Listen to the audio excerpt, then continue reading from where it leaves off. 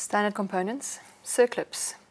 Circlips is another way to fix components together, so it's another fastening standard component. Now typically we know to use a circlip when we have, for example, a shaft that has small little neck pieces on the edges. So for example, we'll have something happening on the inside, and in order to make sure that whatever is assembled on the inside doesn't fall out on the outsides, we can add circlips in these little neck pieces. Now an external circlip looks like this if you see it from the front.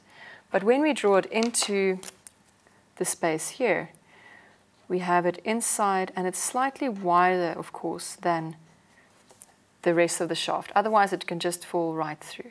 And a circlip we actually section, unlike the other standard components. So if we add circlips on either side, that's how that would look. Now there's other ways where you can have circlips. If we look at, for example, this component, we have circlips on this component, and you can see it's in these little grooves.